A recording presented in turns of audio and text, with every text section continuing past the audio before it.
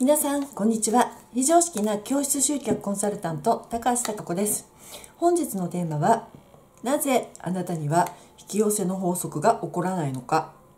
引き寄せの法則の勘違いを知り活用する方法についてお伝えしたいと思います。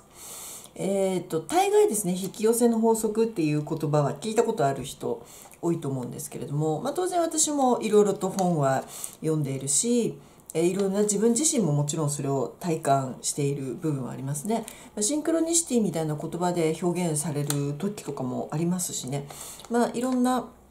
あの説というか説明とかがあると思うんですよ。ですからあのこちらの方で今日お話ししたいのは引き寄せの法則っていうのがどういう概念が正しいとか正しくないとかそういう意味ではなくて、えーと私が実感しているその引き寄せの法則は実生活現実世界においてこういうふうに使ってったらいいんじゃないのかなっていう私なりの持論をあの展開したいと思うので人によって考え方が違うのは当然で、えその辺りを否定するものではないということをまず最初にお伝えしたいかなというふうに思っております。ではあのお伝えしたいと思うんですけれども、えー、とまずですねあの引き寄せの法則のメカニズムなんですけれども、えー、これっていうのはですねこう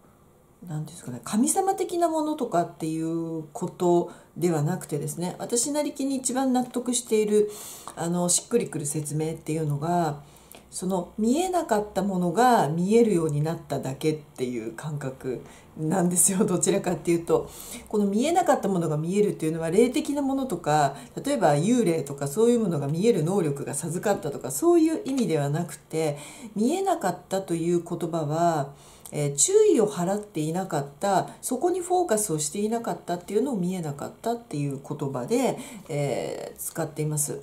えー、よく分かりやすい例で私が皆さんにお伝えしてるし実際に自分もやったことあるし実験をやってもらって見てることがあるのが、えー、例えば道路そこそこまあまあ交通量が多いところがいいと思うんですけれどもで立った時に黄色い車が5分間に何台通るのかとかっていう実験ですね。でやる前とか大概皆さん1台とか0とかいうふうに言うんですけど大概5分やってもらうと10代とか15代とかっていうのも普通なんですよね。で私自身もうん自分で実験した時に8台はいましたねその黄色っていう概念をどこにするのかって、まあ、体の体っていうか車の一部のね半分ぐらいの車体が黄色ければもう黄色とするみたいなルールが仮にあったとしても、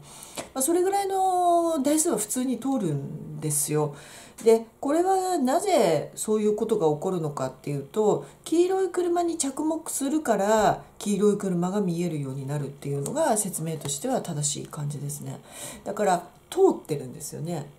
車は。だけど黄色い車に着目しないから黄色い車が見えないだけっていうそんな感じです。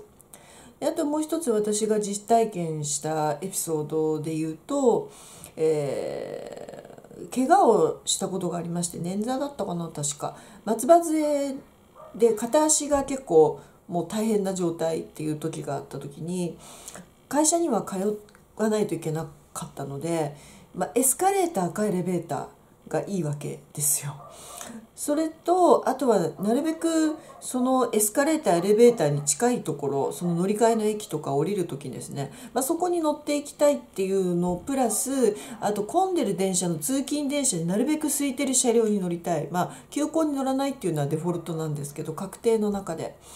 でそれっていうのはそのどこの位置にえー、エスカレーターがあってエレベーターがあるかっていうのはそこに注目するから見えるようになるのであって普段はそんなに気に留めてないんですよね。乗り換えの時にねこういうふうになるべく最短距離で行きたいとかって思うとそれを調べるからそこにそのエレベーターとかエスカレーターの設備があるっていうことを初めて認識するようになるわけですよね。だからあの見えないものが見えるようになるっていうのは単なる認識がする世界は変わってないってというケースがある場合があるんですよね。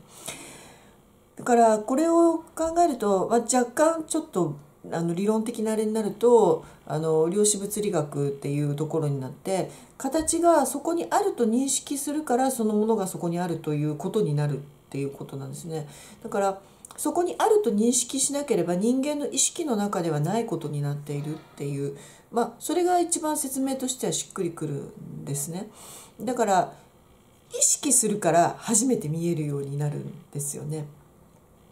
ここ結構ポイントでですねあの引き寄せの法則っていうのは本当にだからあの願えば引き寄せられるんじゃなくてそれを例えば本当に叶えたいとか欲しいとか思った瞬間に脳が活性化してそのキーワードであったりとかそれに関連するものをまあ指令が下るわけですよねこれを夢を叶えたいとかこういうものをしたいとかっていうとそれに関する情報を脳が集めようとするんですよねそうすると当然アンテナが立ちますので誰かからの情報ないしは街を普通に歩いていてもその文字だけが目に入ってくるようになる。うん、旅行に例えば私がフランスに行きたいっていうとフランスに関するものがどんどんどんどん入ってきます旅行会社に行っても国内のパンフレットとかも目にくれないで海外のところのしかもフランスパリっていうパンフレットだけが目に入るようになるっていう、まあ、そんな感覚になるのでこの状況を引き起こすには一つ足りないポイントがあるんですよ。願ったら来るっていうこのテレパシー的なものでは基本引き寄せの法則は、まあ、起こるかもしれないけれども力が弱いと思っていてそれを例えば具現化するためにより早く実現させたかったらやっぱ行動するっていうことが大事だなっていうふうに思ってるんですね。ですから例えばうんそうだなあじゃあ分かりやすいところで最近私あのサックスを始めましたということでここ半年ぐらいやってるんですけれどもそのサックスを始めたことによって、えー、当然上達レベルに合わせて曲をこういうふうに吹いてみたいとかこういうふうにしてみたいとかこんな風にやってみたいとかいうふうに思うと欲が出てくるじゃないですか。こういうふうにしてみたい。こういう音を出してみたい。そうするとその音を出すためにはどうしたらいいのかっていうことを当然調べるわけで調べる方法は何個かあります。一番手っ取り早いのは私が習っているサックスの先生に聞く。これ一番早いです。あの言語がえー、っと共通っていうかうんと雰囲気で合ってるから雰囲気で言っても伝わるんですよね。例えば音楽用語を知らなくてもうーんえー、そうですね。曲の中でこうワワワワワってこう波みたいな状態の音うーっていうのを出すっていうのをしたい時にえー、ビブラートって言うんですけれどもビブラートって音楽用語を知らなかったとしても先生にここの最後の終わりのところこの「ウォウォウォウォ」っていうのをやりたいんですよ。どうやったらいいですか？とか言って、まあ、口の動かし方とか顎とか喉の鳴らし方とかっていうのを実際に教えてもらうわけですけれども分からなくて「ウォウォウォウォ」っていうふうに言えば伝わるんですよ。だけど、まあ、ネットでも検索できるかもしれないんですけどあのなんか曲の終わりに「ワウワウワワ」とやりたいとかって言ってビブラートっていう言葉が果たして出てくるかどうかとかね。あとは先生とかだったらその実際に自分がこれが憧れですみたいな音源を聞かせてこれしたいんですけどどうしたらいいですかっていうのを聞けば答えが出てくるのでこれ行動になってますよね。単なる頭の妄想の中でなんかあのブルブルブルワワワっていうのをやりたいって心の中で思っててもそれっていうのはあのまあ運良ければビブラートっていう言葉に行き当たりネットで調べたりとかできるかもしれないんですけれどもあのやっぱり調べるっていう行動をしない限りは解決策には近寄っていかないんですよねだからあの引き寄せるっていうのはもちろん認識して目に入ってくるっていうことはあるにしてももう少し能動的に動かないと。それを手に入れるところまではなかなか至らない。でその手に入れるために一番近道はどこかっていうのはまあ私の場合だと先生がいるから先生になるんですけどね。まあ先生が仮にいなかったとしてもサックスをやってる詳しい友人とかレベルでも捕まえることができるのであればわわわわってどうやんの？とかってわかるかもしれないしあとは親切なヤフー知恵袋みたいなところでわわやりたいんですけどって言ったら誰かは理解してくれるかもしれないので、まあ、そういう探し方をできるにしてもどのみち自分の脳にあるものないしは思いを口に出して外に発信して誰かに聞くかネットで言葉は分かんなくても何とか調べるかって要は行動が伴わないとその欲しいものに近づくことが難しいんですよね。例えばパリに行きたいっていうふうに思ってもそのパリに行くためにはじゃあ何をしたらいいんだろうかっていうそこまで思わないとパリって近寄っていかないんですよ。例えばパリに行くじゃあいつ頃行ったらいいんだろうとかその頃行くんならいくらぐらいかかるんだろうこれぐらいの値段だったらどこの旅行会社に頼むのがいいのか自分で調べるのがいいのかどこのホテルに泊まったらいいんだろうとかそのパリに行くっていうことの手段に対してお金最低でもお金いくらかかるのかとか期間いつだったら自分は行けんのかとかそそこぐらいは調べないとパリに行けないですよね。だから言葉でパリに行きたいなとか言ってる人で何も調べない人はいけないし引き寄せでお願いしてるつもりなんだけどっていうのはあの大きな勘違いで願うだけでは無理でアンテナが立つっていうところと情報収集できるところとかはできるかもしれないけれどもさらにそれを具現化したり捕まえるためには調べたり動かないとダメなんですよね。だからよくあの例えば教室開業したいんですけどとかって言ってる人に限って開業するために何が必要でどういう行動が必要でそれをいつまでにどうすれば自己資金はどれぐらいいるのかとかっていうことを調べてない人が多い。ですね外境したいなっていうのはだから単なる言葉だけのまあ親切な友人とかいれば開業にはこれぐらいこうかかってこういう人に相談すればいいよとか言ってくれる友人がいればまだしも単なに開業したいな点点点だとそれ以上何も起こらないですね。で行動しない人に限ってあのーその自分は引き寄せもできなかったとかねそういうこと言っちゃうんですよ。願ってるだけではダメで最低でも口に出さないといけないですね。そうすると誰かが反応してくれる可能性があるから。あの確か斎藤ひとりさんとかも私好きなんであのよく本とか読んでななんだろうな。鍋焼きうどんの法則とかかな？確か。えー、っとうどん屋さんに行って鍋焼きうどんが頼欲しい食べたいと思ったら鍋焼きうどんくださいって言えば鍋焼きうどんが出てくるんですけど心の中で鍋焼きうどんが欲しいって思っててもカレーうどんって言ったら漏れなくカレーうどんが出てきちゃうんですよ。だからあのしかも何も注文しなければ物は何も出てこないってそれに多分よく似ていて引き寄せもあの本当に頭の中で思ってるだけだとアンテナは立つレベルで情報は若干収集できるかもしれないけどさらにそれを引き寄せてどうにかするっていうほどの威力がないから引き寄せの法則が起こらないと思ってる方はまずそれがどういうふうにしたらっていう調査であったりとかそこに向かって動くための行動も同時にやっていかないと引き寄せられたことにならないみたいなことを自覚する必要がありますね。だからあの言霊っていうこともよく私使いますけれども言葉にして発するっていうことはそれによって外界とあの触れ合うことになるので、まあ、何かしらのヒントをもらったりとかあのそういう新しい情報が入ってくる可能性が増えます。なので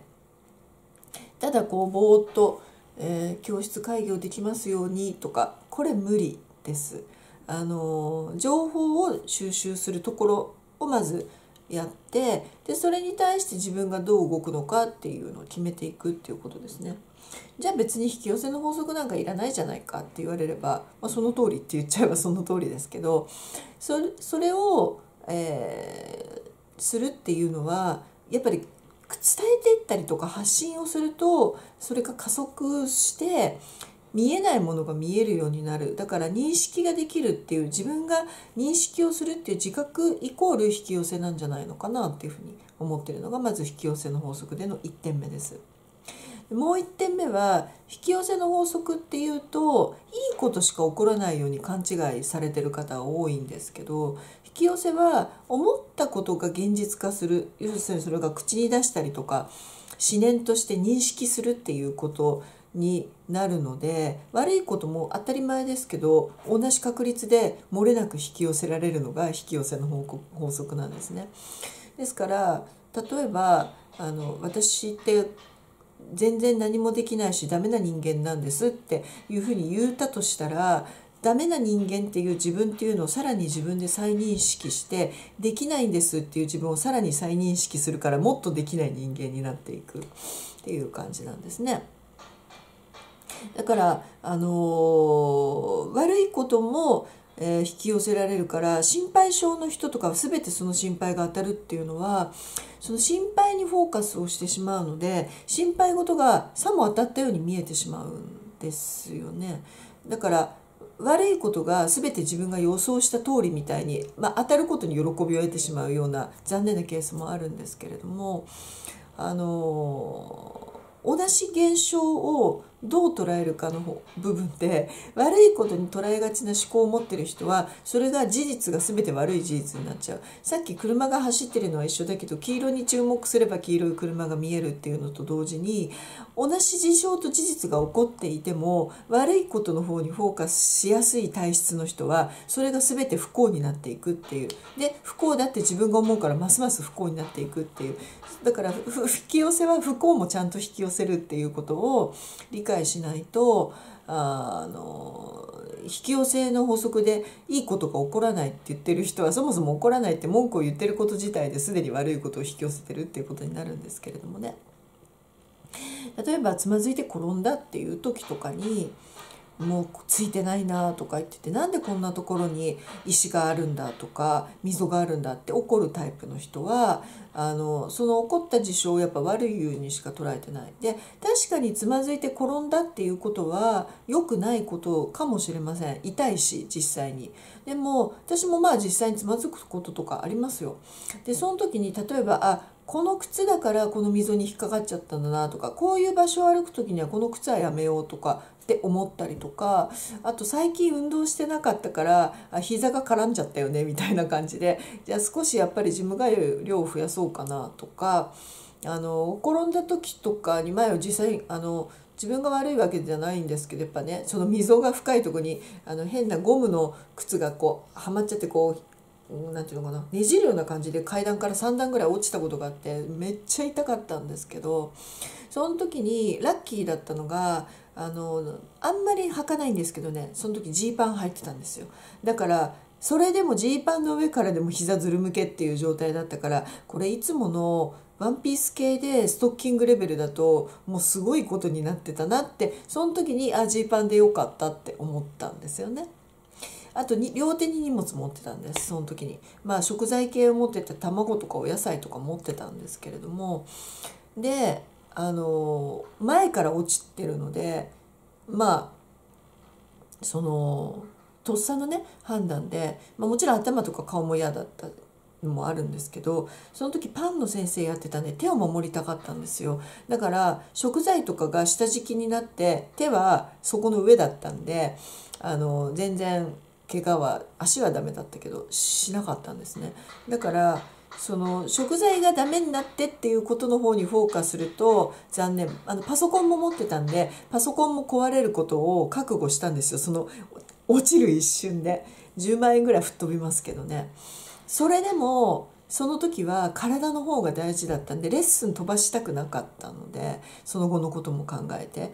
だから手が傷つくとか骨折とか嫌だったんですよ。だからパソコンとその野菜の材料とかぐちゃぐちゃになってもいいからっていうふうに前にバーンってやって手は大丈夫だったっていう。そういう状態だったので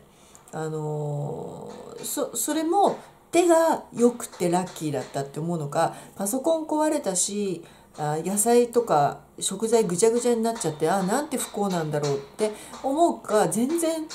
事象は一緒なんですけど考え方違いますよね。だからあの引き寄せの法則っていうのは認知することなので、まあ、いいことを認知していこうっていう思考があれば全てやっぱりいいことになっていくんですよね。でかつただ願うだけじゃダメでそれは何か外観に向かって現実世界に向かってちゃんと地に足についた状態で調査をする行動するもうすごいすごくシンプルなことなんです。だけどスタートが認知がないとスタートできないのでそのために引き寄せっていうのは使うのはいいかなっていうふうに思ってるのが私の感覚になります。ですからあのまとめますと引き寄せの法則が起こらない方っていうものの共通点の1個目が願うだけで実際に行動してない方。だから認知がスタートしてないっていう状態だから引き寄せの法則が起こらない。その1その2が悪い想像も全て引き寄せられるということを理解していないから心配性だったりえー、あまり良くない未来ばっかりを想像しがちな人がいいことが起こらないのは引き寄せは同時に起こっているからだっていうことを理解してほしい。ということで、えー、引き寄せの法則を上手に使うのであればまず良い未来を想定するっていうこととそれに向かってどうやったらそれができるのかっていう行動していくこの実践力ですね。これがまあ大事かなって思い思いますのでご参考にしてみていただければと思います。それでは